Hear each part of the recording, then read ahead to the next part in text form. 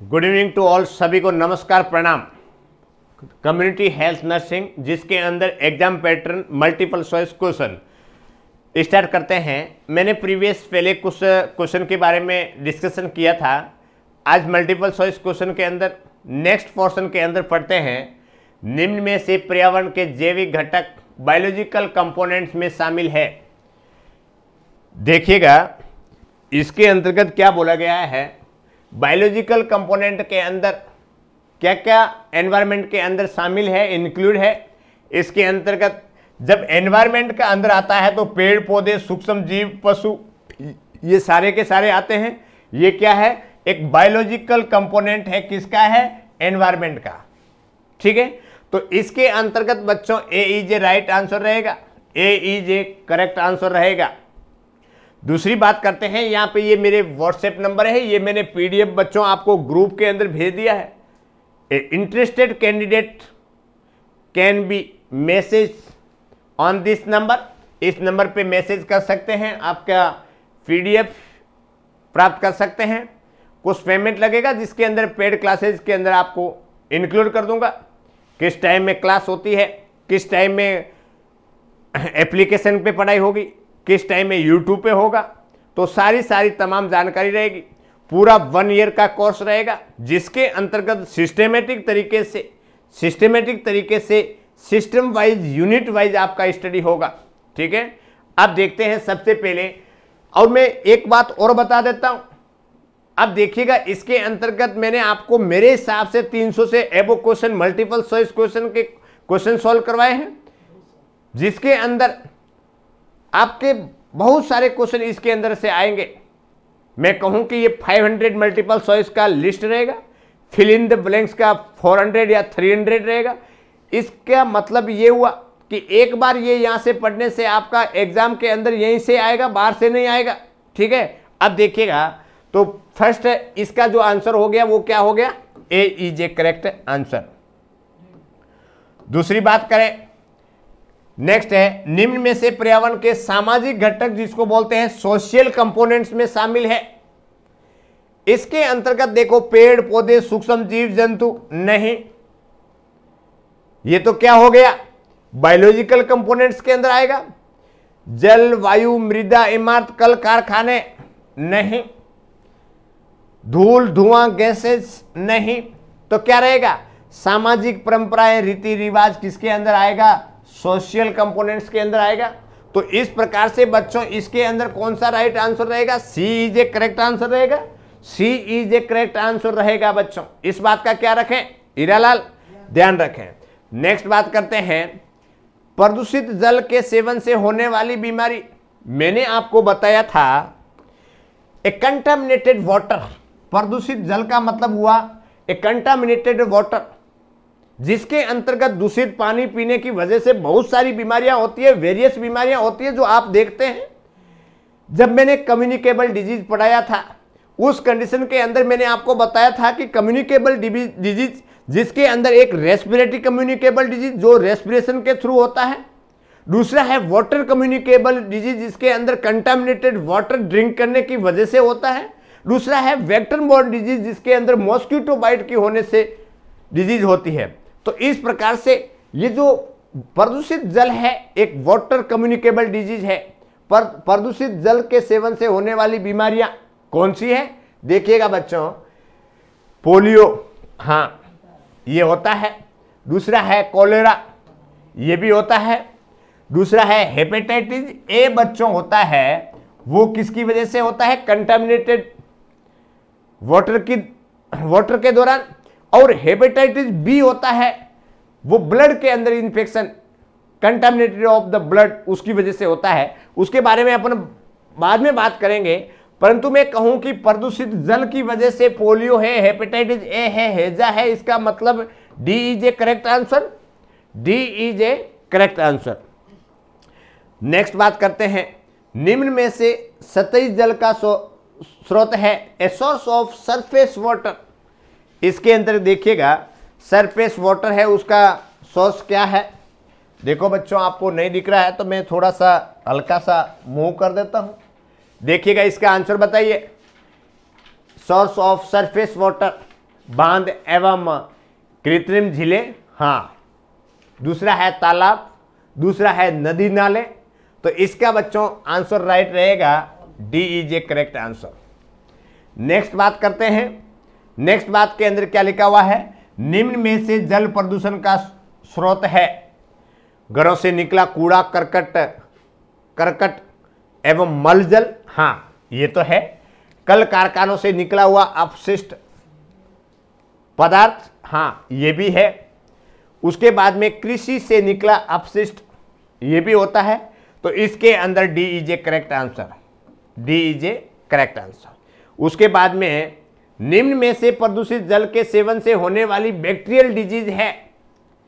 आपने देखा होगा कि जो डिज़ीज़ होती है, जिसके अंतर्गत विभिन्न प्रकार के माइक्रो ऑर्गेनिज्म के द्वारा स्प्रेड होती है, जैसे कि मैं कहूँ कि कई ऐसी बीमारियाँ जो वायरल होते हैं। जैसे उमेश को क्या हो गया था? कोरोना हो गया था। कोरोना क्या है? एक वायरल डिज़ीज़ है। उस प्रकार से मैं कहूँ कि कई ऐसी बैक्टीरियल डिज़ीज़ होती है। अरे नहीं होगा, काले टेंशन कर रहा है। क्या गड़बड़ाते तो उस प्रकार से मैं कहूँ, कई ऐसी बैक्टीरियल डिज़ीज़ होती है, कई प्रोटोजोआ पैरासाइट डिज़ीज़ होती है, फंगल डिज़ीज़ होती है तो इस प्रकार से निम्न में से प्रदूषित जल से सेवन से बैक्टीरियल डिज़ीज़, कौन, क्या, कौन सी होगी? टाइफाइड फीवर जैसे टाइफाइड फीवर का causative organism Salmonella typhi polio और हेपेटाइटिस ए ये वायरस के द्वारा होता है। और नियार्डियसिस अमीबियसिस ये नहीं, ये भी नहीं होता है। तो इस प्रकार से उपरोक्त सभी नहीं आएगा। इसके अंदर typhoid Salmonella typhi is a bacterial disease तो इस प्रकार से A is a correct answer रहेगा। नेक्स्ट बात करते हैं। कुओं के जल में शुद्धिकरण के उपयोग में लिया जाने वाला रासायनिक पदार्थ है। आपने देखा होगा कि आदम जमाना के अंदर, पुराने जमाने के अंदर जो गाँवों के अंदर जो पानी की टंकियाँ थी, उस टंकियों के अंदर पानी जो पीने को मिलता था, उसके अंदर किसका गोल आता था? एक दवा मिली हुई आती थी, ठीक है ना? जिसके अंतर्गत देखो, क्या लिखा हुआ है? और वो दवाई क्या करती थी? पानी को शुद्ध करने का काम करती थी, जिसके अंतर्गत आयोडीन नहीं। उस पानी के अंदर आयोडीन नहीं मिलाएँगे। दूसरा है बीटाडिन, ये तो बिल्कुल नहीं मिलाएँगे। उसके बाद में कैल्शियम कार्बोनेट, इसका क्या रोल है यहाँ पे पानी को शुद्ध करने के लिए? रोल है ब्लीचिंग पाउडर का। तो B is a correct answer रहेगा बच्चों। B is a correct answer रहेगा। इस बात का क्या रखें?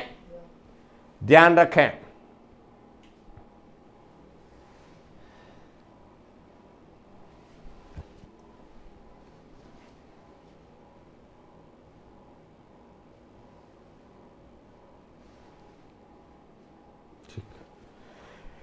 अब नेक्स्ट बात करते हैं। निम्न में से हॉरोक उपकरण का संबंध है। किससे संबंध है? बताइए। इसके अंतर्गत हॉरोक उपकरण होता है जल के शुद्धिकरण से। हाँ, वायु प्रदूषण की रोकथाम के लिए नहीं, ध्वनि प्रदूषण की रोकथाम के लिए नहीं, गाँवों की ड्रेस, ड्रेसिंग के लिए नहीं। अब औरोक उपकरण का संबंध है, जल का शुद्धिकरण से संबंध में। ठीक है? अब उसके और उपकरण क्या होता है, उसका डिटेल अपन इंस्ट्रूमेंट के अंदर पढ़ेंगे। ठीक है? अब नेक्स्ट बात करते हैं। वायु में सर्वाधिक मात्रा में पाई जाने वाली गैस है, ये तो आप सब जानते हैं। दसवीं क्लास का क्वेश्चन है, जिसके अंतर्गत राइट क्या होगा? नाइट्रोजन। वायु में सर्वाधिक मात्रा में पाई जाने वाली गैस है। जिसके अंतर्गत वायु में सबसे ज़्यादा मात्रा में पाई जाती है, नाइट्रोजन होती है 78 परसेंट होता है। ठीक है? इस बात का बच्चों क्या रखे? ध्यान रखें, ऑक्सीजन कितना परसेंट होती है होती है? 21 परसेंट। ओजोन, ये कार्बन डाइऑक्साइड होती है, वो कितना परसेंट होती है? Four percent. ठीक है? तो इस प्रकार गैसों के बारे में बात करते हैं, सर्वाधिक मात्रा में पाई जाती है वो नाइट्रोजन गैस पाई जाती है एनवायरमेंट के अंतर्गत। उसके बाद में नेक्स्ट बात करें ए लार्ज पैमाने पे बड़े लेवल पर जल शुद्धिकरण हेतु पाई जाने वाली प्रक्रिया के फेस में शामिल नहीं है। क्या शामिल नहीं है? स्टोरेज शामिल है। उसके बाद में निष्पंदन, ये भी शामिल है। क्लोरीनीकरण, ये भी शामिल है। ओजोनो, ओजोनीकरण का इसमें यहाँ पे कोई रोल नहीं है बच्चों। बड़े पैमाने पे जल को शुद्धिकरण करने के लिए। तो इसके अंतर्गत बच्चों D is a correct answer रहेगा। कौन सा आंसर रहेगा? D is a correct answer रहेगा। इसके बाद में नेक्स्ट बात करते हैं। एसिड रेन से आप क्या समझते हैं? एसिड का मतलब होता है एसिड अमल, अमलियता। वर्षा के जल की पीएस का सेवन से कम हो जाना। एसिडिक कंडीशन के अंदर क्या होगा? एसिड रेन रेन का मतलब होता है वर्षा, एसिड का मतलब होता है अम्ल। तो वर्षा के जल में पीएस का सेवन से कम होना। दूसरा है वर्षा के जल का पीएस का 5.6 से कम हो जाना। आकाश से हाइड्रोक्लोरिक अम्ल की रेन होना। आकाश से सल्फ्यूरिक अम्ल की वर्षा होना। नहीं। ठीक है? अब बच्चों इसके अंदर हाइड्रोक्लोरिक अम्ल की रेन नहीं होती है सल्फ्यूरिक अम्ल की रेन नहीं होती है। इसके अंतर्गत जो एसिड रेन मैंने आपको बताया था कि एक पीएस लेवल माना जाता है सेवन पॉइंट ज़ीरो से। यदि सेवन से कम होगा वो एसिडिक प्रकृति होगी। और और उसके बाद में आ, सेवन से ज़्यादा है तो उसके एल्केलाइल कंडीशन हो जाएगी। तो ऐसी कंडीशन के अंदर, इसके अंदर बी बच्चों इज़ राइट का आंसर रहेगा, क्योंकि पीएस लेवल कितनी है? 5.6 है। और seven is a neutral part of ठीक है ना? ऑफ़ द पीएस ठीक है ना? तो इस प्रकार से ये न्यूट्रल है, ये एसिडिक प्रकृति है। तो जो रेन हो रही है, वर्षा के जल की पीएस का 5.6 से कम हो जाना, क्या कहलाता है? एसिड रेन कहलाता है। जब बारिश होती है, जब बारिश होने के बाद में तालाब में पानी भरता है, जब पानी भरा जाता है तो ऐसी कंडीशन के अंदर उसकी पीएस को देखते हैं तो पीएस बिलो द सेवन रहेगा। मतलब यहाँ पे इंडिकेट किया हुआ है कि 5.6 रहता है। तो क्या है? ये एसिड रेन है। बोलेंगे, अब वो जो पानी था, उसके अंदर एसिड ज़्यादा था। अमलीय वर्षा हुई है। निम्न में से घर में निकलने वाला कूड़ा करकट का निस्तारण किस विधि से किया जाता है? अब जितने भी कूड़ा करकट होता है, कचरा होता है, उसको जलाना हाँ। दूसरा है पाटना हाँ। कंपोस्टिंग हाँ। उसके बाद में उपरोक्त सभी हाँ। ठीक है ना? D is a correct answer अब पाटने का मतलब ये हुआ कि एक ज़मीन से गड्ढा को गड्ढा बनाया, है ना? उसके अंदर सारा डस्ट डाल दिया और उसके ऊपर मिट्टी बराबर कर दी अपने ज़मीन के लेवल पर। कंपोस्टिंग का मतलब होता है जो कचरा है उसका खाद बना दिया और किसमें डाल दिया? खेत में डाल दिया, जिसकी वजह से मूली, है ना? या कई प्रकार के ऐसे फूल है, उसके अंदर फूल पत्ती है, सब्ज़ियाँ हैं, उसमें डाल दिया, जिसकी वजह से क्या होगा? खाद से अच्छी सब्ज़ियाँ बनती है। और जला देते हैं। ठीक है ना? तो इस प्रकार से D is a correct answer रहेगा। पर्यावरण के पर्यावरणीय संस्था कमेटी द्वारा रिकमेंडेड घर के मापदंडों में शामिल है।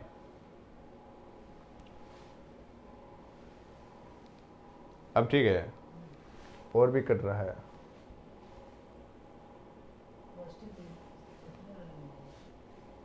हम्म?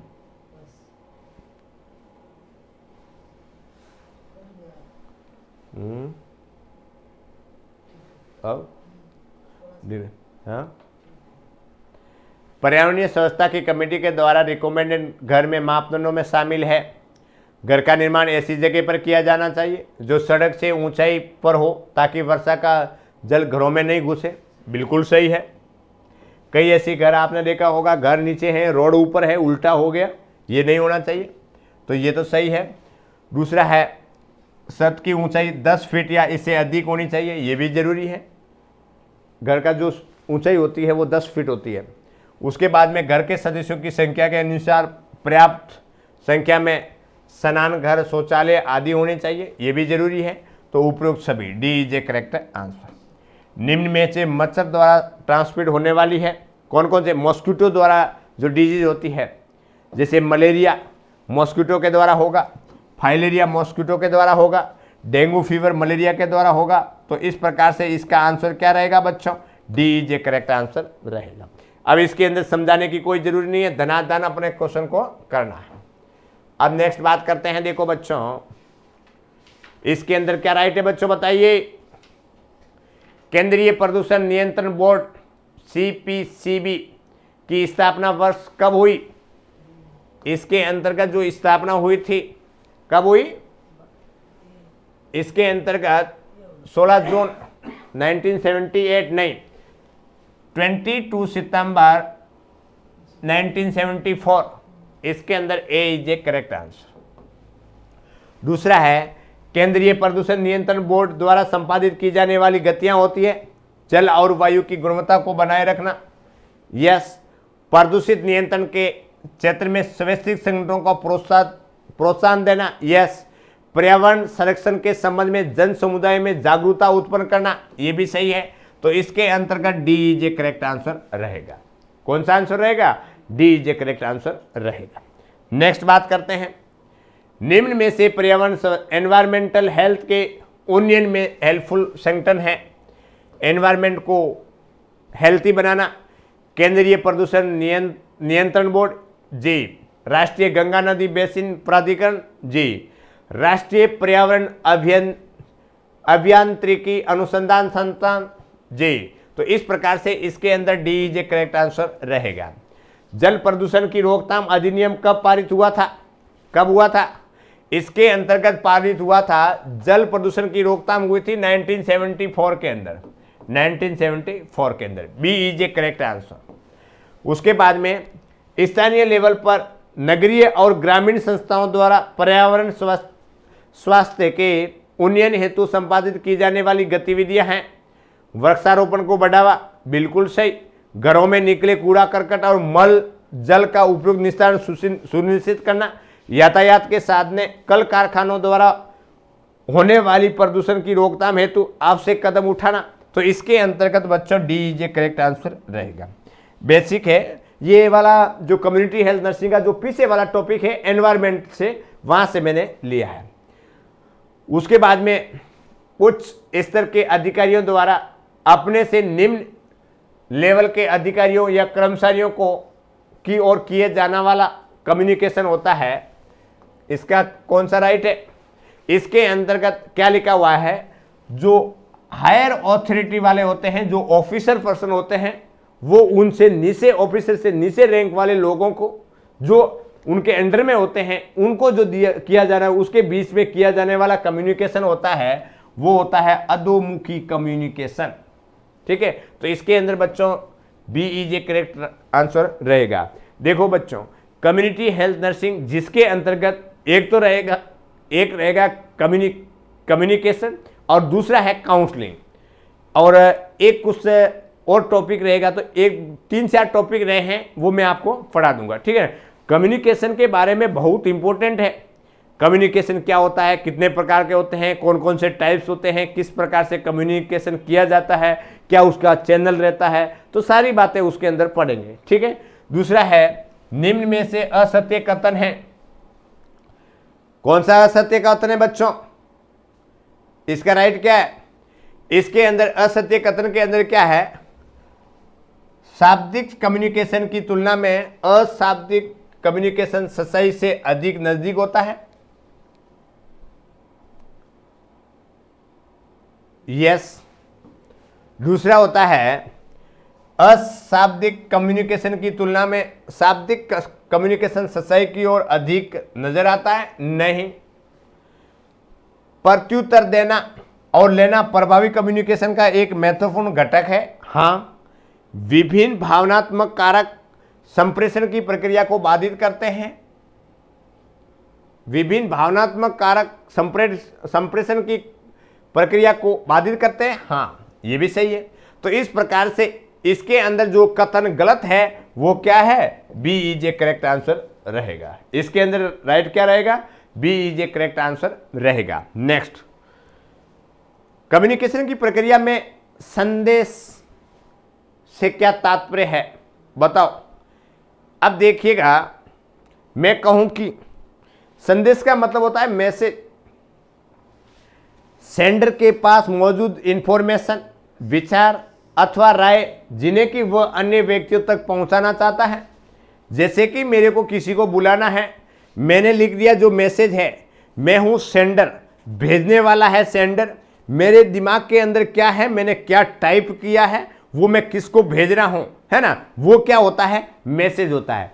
तो सेंडर के पास मौजूद इंफॉर्मेशन विचार अथवा राय जिन्हें वो अन्य व्यक्तियों तक पहुंचाना चाहता है, क्या कहलाता है? मैसेज कहलाता है। ठीक है ना? तो इसके अंतर्गत A is a correct answer रहेगा। दूसरी बात, सेंडर के द्वारा सामने वाले व्यक्ति अपनी बात पहुँचाने के लिए उपयोग में लिए जाने वाला मार्ग, ये तो क्या हो गया? चैनल हो गया। कौन से मार्ग से, कौन से माध्यम से? जैसे आपने देखा होगा इंस्टाग्राम पे, आजकल इंस्टाग्राम का फ़ैशन बढ़ गया है, जिसका माध्यम है सोशल मीडिया है, वो बहुत तेज़ी से आगे बढ़ रहा है, ठीक है? तो ऐसी कंडीशन के अंदर, ऐसी कंडीशन के अंदर कौन सा माध्यम रहेगा, ठीक है ना? किस माध्यम से? जैसे इंटरनेट हुआ फेसबुक हुआ व्हाट्सएप हुआ, है ना? जो अपने पोस्ट ऑफ़िस से जो भेजते हैं अपने ये स्पीड पोस्ट करते हैं, पत्र, कागज़ पत्र, है ना? तो इस प्रकार से कोई भी व्यक्ति है अपनी बात पहुँचाने के लिए उपयोग में किया जाने वाला मार्ग, ये हो गया चैनल। दूसरा है, सेंडर द्वारा रिसीवर की ओर भेजे गए विचार, सूचनाओं के जवाब में प्राप्तकर्ता द्वारा वापस प्रेषक की ओर भेजी गई सूचना अथवा विचार, ये क्या हो गया? फीडबैक हो गया। कम्युनिकेशन की प्रक्रिया में प्रभावी बनाने के लिए उपयोग में लिए जाने वाले उपकरण, ठीक है? तो ये तो हो गया बच्चों फीडबैक ये हो गया चैनल कौन सा माध्यम है?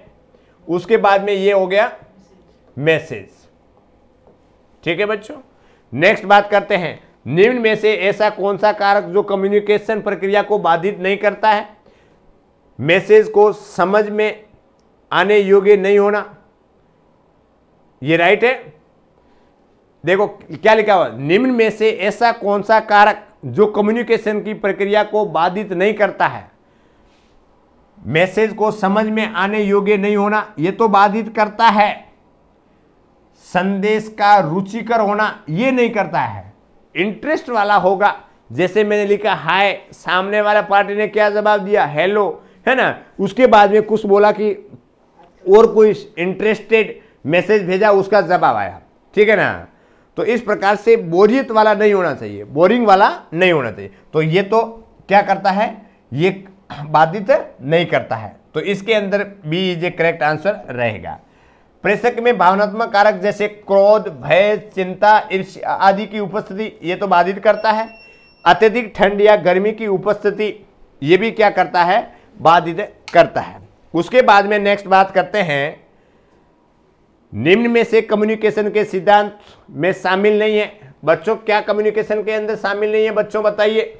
इसके अंतर्गत कम्युनिकेशन के दौरान सेंडर और रिसीवर दोनों की भाषा का उपयोग करना चाहिए, जो कि एक दूसरे को आसानी से समझ सके। ये ज़रूरी है, ये सही है। दूसरी बात करते हैं कम्युनिकेशन के दौरान तकनीकी शब्दों का उपयोग अधिक अधिक मात्रा में करना चाहिए, बिल्कुल नहीं करना चाहिए, ये शामिल नहीं है। भेजा गया संदेश रुचिकर और प्राप्तकर्ता की आवश्यकता के अनुसार होना चाहिए यह भी ज़रूरी है। कम्युनिकेशन के दौरान फीडबैक आवश्यक रूप से देना चाहिए, ये भी है, ठीक है ना? तो इसके अंतर्गत बच्चों बी इज़ करेक्ट आंसर रहेगा, ये शामिल नहीं है, ठीक है? इस बात का क्या रखना है? ध्यान रखना है। नेक्स्ट बात करते हैं। निम्न में से स्वास्थ्य शिक्षा के सिद्धांत में शामिल है। क्या लिखा हुआ है? हेल्थ एजुकेशन के जो प्रिंसिपल्स होते हैं, उसके अंदर क्या इंक्लूड है, उसके बारे में बात करते हैं। सबसे पहले इसकी आवश्यकता अनुसार पुनर्वृत्ति होनी चाहिए यह भी ज़रूरी है। उसके बाद में बात करते हैं, ये श्रोता की सिद्धांतों में शामिल है। इसकी आवश्यकता अनुसार पुनरावृत्ति होनी चाहिए। क्या राइट है इसका?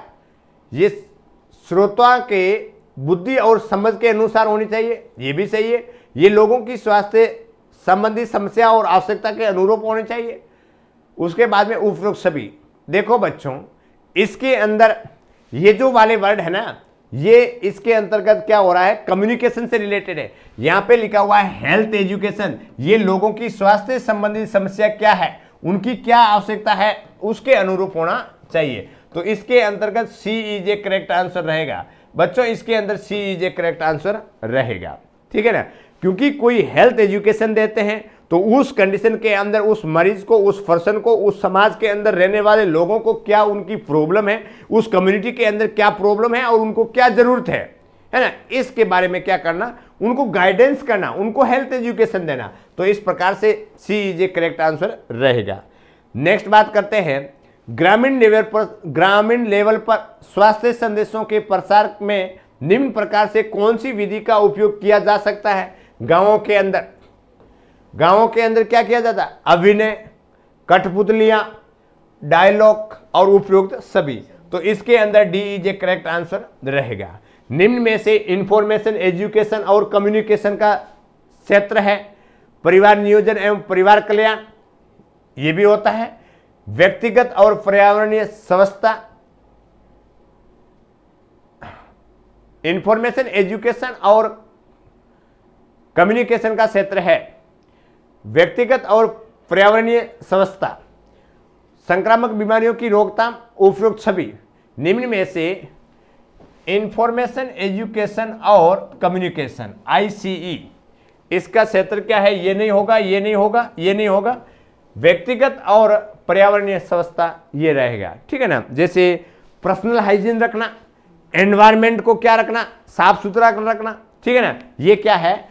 कि आईसीई का कम्युनिकेशन का एरिया है।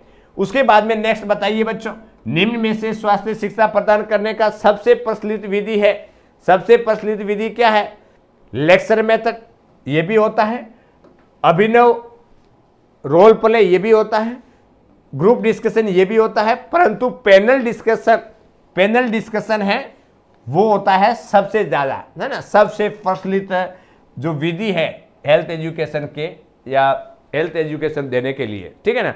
पैनल डिस्कशन होता है, वो इंपॉर्टेंट होता है, ठीक है? नेक्स्ट बात करते हैं। निम्न में से ग्रामीण, निम्न में से ग्रामीण और अनपढ़ लोगों को स्वास्थ्य शिक्षा प्रदान करने का सबसे प्रभावी तरीका कौन सा होता है? लेक्चर मेथड रोल प्ले उसके बाद में ग्रुप डिस्कशन और पैनल डिस्कशन इसके अंतर्गत क्या राइट है? इसके अंतर्गत भी जो ग्रामीण क्षेत्रों के अंदर तो बच्चों होता है रोल प्ले इसके अंतर्गत क्या है? C is a correct answer रहेगा। रोल प्ले किया जाता है। जिसे गाँव के अंदर नहीं जाते हैं, कठपुतली वाले उमेश, गाँव के अंदर नहीं आते हैं, जैसे ढोल बजाते हैं, नाचते हैं, करते हैं आ? तो फिर उसके बाद में निम्न में से स्वास्थ्य, शिक्षा का क्षेत्र है। टीकाकरण, परिवार नियोजन, व्यक्तिगत और पर्यावरणीय व्यवस्था संतुलित आहार और उपयोग सभी। अब देखिएगा बच्चों, ये वाला पहले वाला मैंने आपको बताया था, निम्न में से स्वास्थ्य शिक्षा का, निम्न में से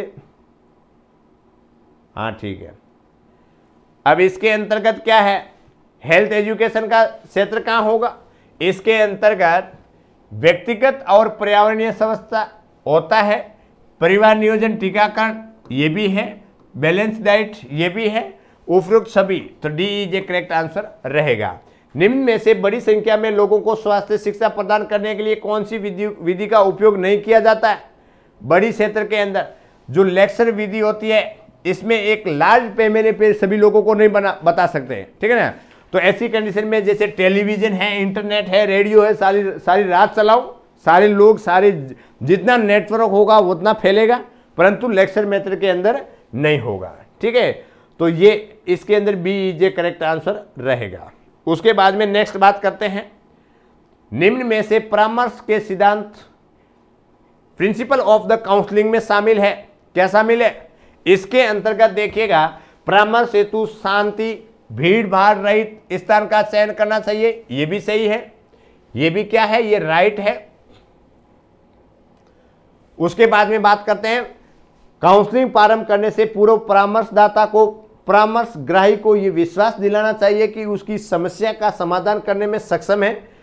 परामर्श परामर्शग्राही की आवश्यकता अनुसार दिया जाना चाहिए और उसके बाद में D is a correct answer. तो इसके अंतर्गत जो काउंसलिंग की जाती है, जो काउंसलिंग, काउंसलर होता है, जो काउंसलिंग किसके बारे में बताया जाता है, क्या मैटर है?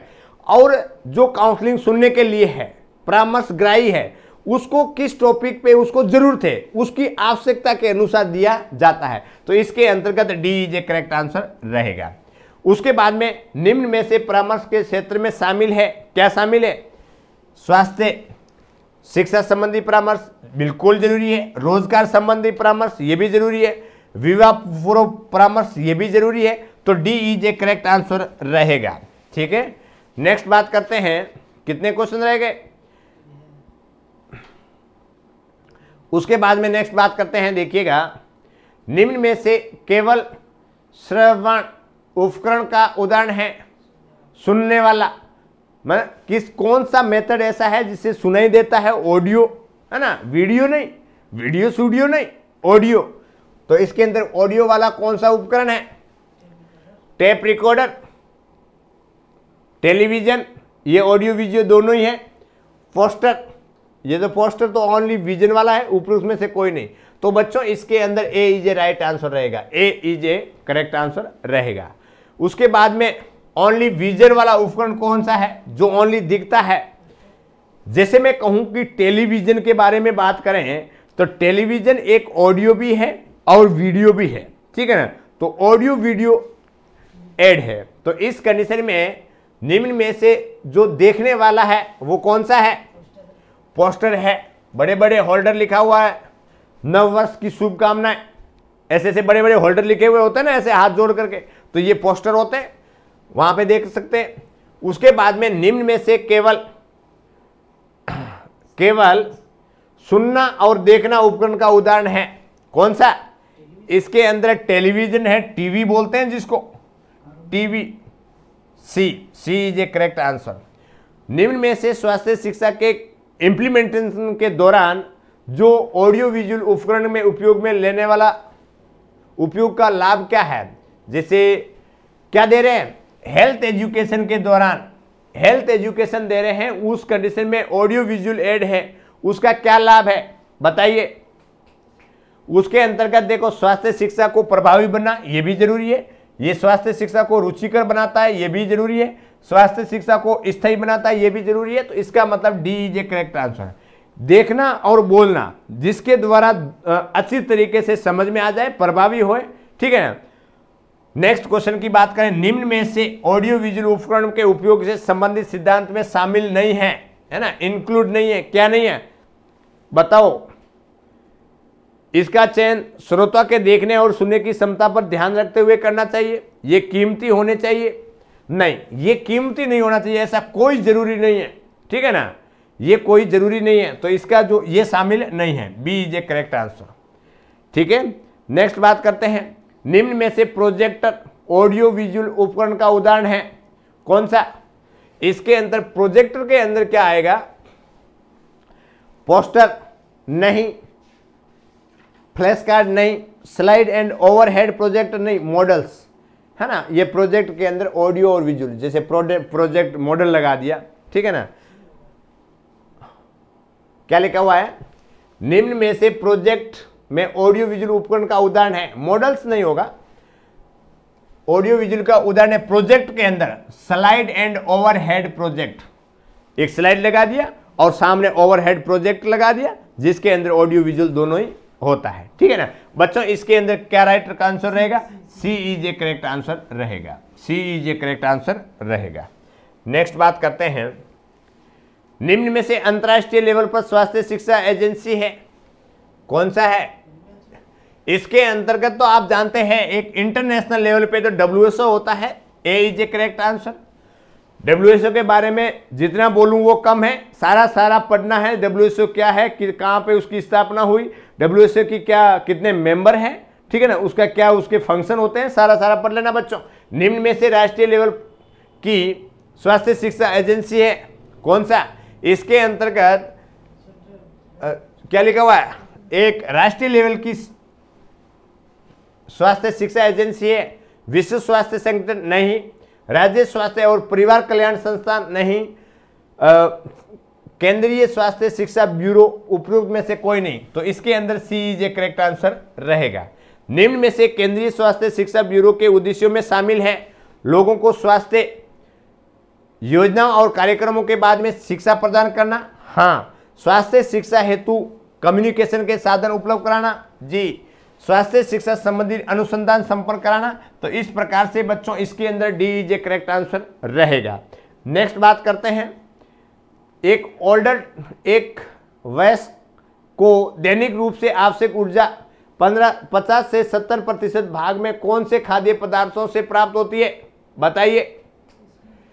इसके अंतर्गत जो 50 से 70 परसेंट जो खाद्य पदार्थों में शामिल क्या है?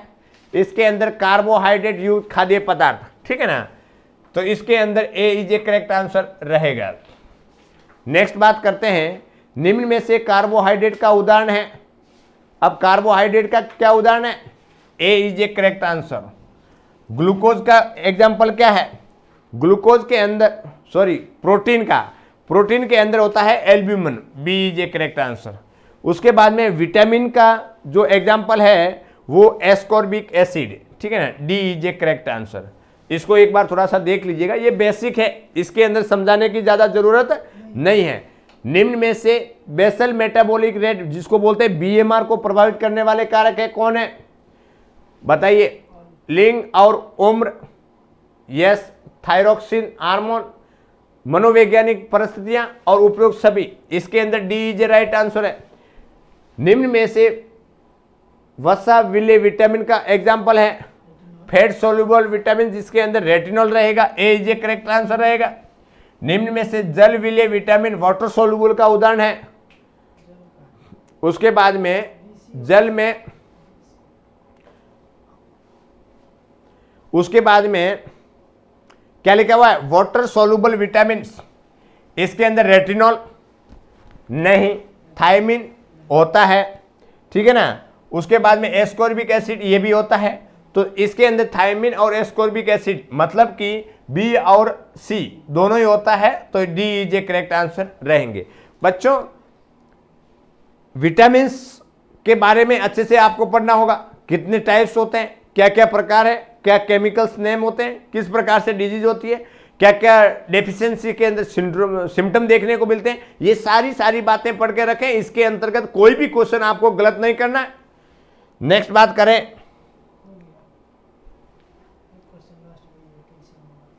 निम्न में से मानव शरीर में सब सर्वाधिक मात्रा में पाया जाने वाला खनिज लवण है कैल्शियम। ठीक है ना? हड्डियों के अंदर क्या पाया जाता है? कैल्शियम पाया जाता है। तो इसके अंतर्गत मानव शरीर में सर्वाधिक मात्रा में पाया जाने वाला खनिज लवण क्या है? कैल्शियम। उसके बाद में एक शिशु की ऊर्जा की दैनिक आवश्यकता कितनी होती है?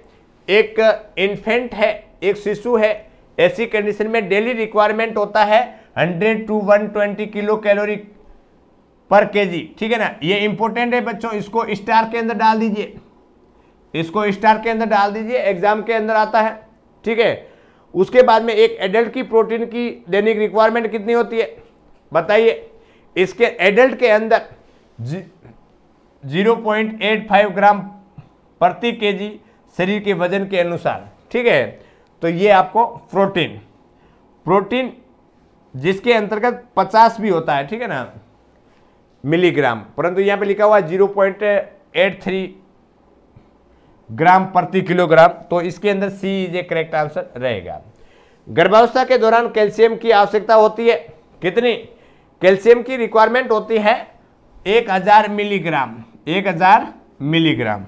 उसके बाद में नेक्स्ट बात करते हैं।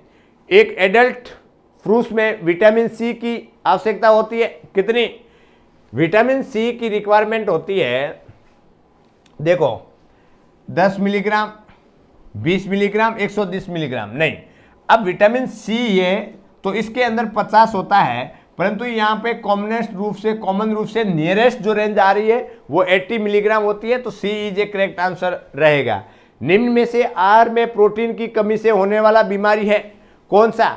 आर में प्रोटीन की कमी से। देखो बच्चों माल न्यूट्रिशन के अंदर, जिसके अंदर प्रोटीन, एनर्जी माल न्यूट्रिशन इसके अंदर दो प्रकार की बीमारियाँ होती है। एक तो क्वाशियोर और एक होती है मेरासमस। मेरासमस होता है, वो एनर्जी लॉस की वजह से होता है और क्वाशियर कोर होता है, वो प्रोटीन की कमी से होता है। क्वाशियर कोर किसकी वजह से होता है? प्रोटीन की कमी से होता है। ठीक है? ये भी मैंने आपको malnutrition protein, energy malnutrition के अंदर अच्छे से बताया हुआ है, वहाँ से आप देख सकते हैं। उसके बाद में नेक्स्ट बात करते हैं। निम्न में से भोजन पकाने का लाभ है। क्या लाभ है? भोजन एक इजली डाइजेबल होगा। पकाने के द्वारा भोजन में रोगजनक सूक्ष्म जीवन नष्ट हो जाते हैं। इसमें भोजन स्वादिष्ट बनता है, उपरोक्त छवि तो इसके अंतर्गत बच्चों डी जे करेक्ट आंसर रहेगा। है ना? तो इसके अंदर क्या रहेगा? डी जे करेक्ट आंसर इसके अंदर कर रहेगा? डी जे करेक्ट आंसर निम्न में से भोजन पकाने का सिद्धांत है।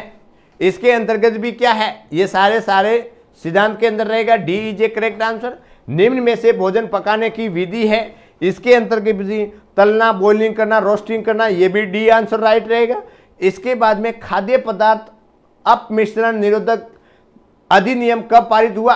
बताइए। इसके अंतर्गत 1954 के अंदर। इसके अंदर बच्चों B is a correct answer B is a correct answer उसके बाद में निम्न में से कम कैलोरी युक्त आहार कैसे रोगियों को दिया जाता है? ऐसे पर्सन जिसके अंतर्गत क्या हो रहा है? कार्डियोवेस्कुलर बीमारी से ग्रस्त है। ठीक है ना? इसके अंदर क्या है? A is a correct answer A वाला। उसके बाद में निम्न में से अधिक कैलोरी युक्त आहार कैसे रोगियों को दिया जाता है? इसके अंदर माल न्यूट्रिशन वाले हैं। कम वज़न वाले हैं तो उनको अधिक कैलोरी दे सकते हैं। तो D is a correct answer रहेगा। उसके बाद में कम सोडियम युक्त आहार कैसे रोगियों को दिया जाता है? ठीक है? इसके अंदर सोडियम क्या करता है? बीपी बढ़ाता है। ऐसी कंडीशन के अंदर हाइपरटेंशन वाले को नहीं दिया जाता है। A is a correct answer उसके बाद में प्रोटीन एनर्जी माल न्यूट्रिशन के दौरान दिए जाने वाले थेरेप्यूटिक आर के संबंध में सत्य कथन है। क्या सत्य कथन है। क्या दे रहे हैं? प्रोटीन, एनर्जी माल न्यूट्रिशन बालक को शुरुआती में 80 टू 100 किलो कैलोरी प्रति ग्राम से वज़न के अनुसार प्रतिदिन आर दिया जाना चाहिए। ये ज़रूरी है। बालक को प्रतिदिन दो से तीन किलोग्राम प्रतिदिन के वज़न के अनुसार प्रोटीन देना चाहिए। हाँ ये भी सही है। हमेशा ध्यान रखना, जितना वज़न हो, उतना ग्राम प्रोटीन देते हैं। है ना? जितना वन ग्राम, वन के जी ठीक है? उसके बाद में बालक को दिया जाने वाला आर सुपाचे होना चाहिए। D is a correct answer next बात करते हैं। पेप्टिक अल्सर से ग्रसित रोग के आहार में निम्न खाद्य पदार्थ को शामिल नहीं करना चाहिए। कौन सा? इसके अंदर तेज चाय और कॉफ़ी, शराब, तले हुए खाद्य पदार्थ। हाँ D is a correct answer इसके अंदर क्या रहेगा? D is a correct answer रहेगा। नेक्स्ट बात करते हैं। मिड डे मील प्रोग्राम की शुरुआत हुई थी 1961 C is a correct answer C is a correct answer इसके अंदर आईसीडीएस के मुख्य उद्देश्य है इंटेग्रेटेड चाइल्ड डेवलपमेंट सर्विस है ना? इसके मुख्य उद्देश्य क्या है? छह वर्ष से छोटे बच्चों को पोषण लेवल को उन्नत बनाना, बच्चे की सौ मुख्य विकास का आधार बनाना, बाल विकास के लिए कार्य कर रहे विभिन्न विभागों के मध्य प्रभावी सामंजस्य स्थापित करना। ठीक है? आईसीडीएस के अंदर क्या क्या फैसिलिटी होता है, उसका क्या मकसद होता है? तो ये भी इंपॉर्टेंट है बच्चों। समरी के रूप में पाँच नंबर का क्वेश्चन आता है। इसको भी मेरे को पढ़ाना है, मैं पढ़ा दूँगा, ठीक है?